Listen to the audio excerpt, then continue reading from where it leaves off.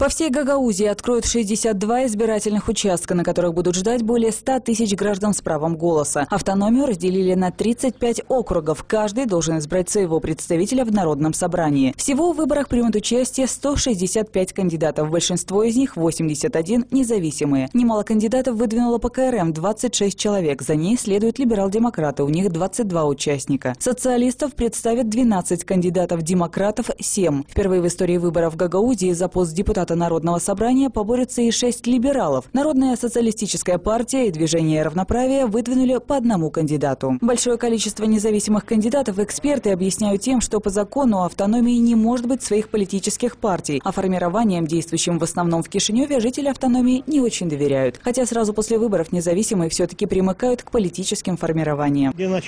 Cum în, în adunare populară din Gagauzia se va forma fracțiunile respective, ele indiscutabil vor avea și o coloratură de partid. În acest sens, faptul că sunt foarte mulți candidați independenți, pe nimeni nu trebuie să inducă în eroare. În ultima instanță, ei vor fi nevoiți să se афилиeze anumitor платформе de partid. Дружба с Россией считается лучшим предвыборным лозунгом в автономии, говорят эксперты. Победителями выборов станут те кандидаты, которые будут как бы за Россию, за восточный вектор, независимо от каких партий они там будут участвовать. Ни одна партия не будет там, допустим, ну, может быть, либерально будет говорить там об объединении с Румынией, но на самом деле все будут говорить о дружбе с Россией.